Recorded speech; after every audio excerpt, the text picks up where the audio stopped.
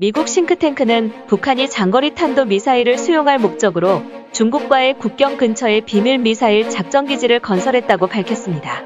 전략국제문제연구소 CSIS는 월요일 새로운 보고서에서 위성 사진을 분석해서 회중리 미사일 작전 기지를 확인했다고 밝혔습니다.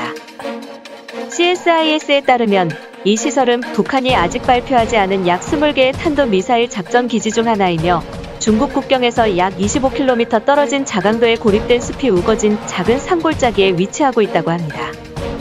정보통에 따르면 회중리 미사일 작전기지는 대륙간 탄도미사일 ICBM을 장착한 연대 규모의 부대를 수용할 가능성이 높다고 합니다.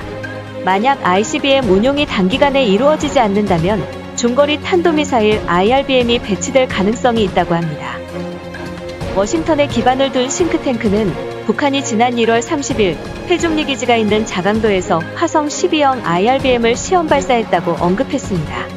북한은 앞서 화성 12형이 핵탄두를 탑재할 수 있고 미국 영토인 괌에 도달할 수 있다고 발표한 바 있습니다.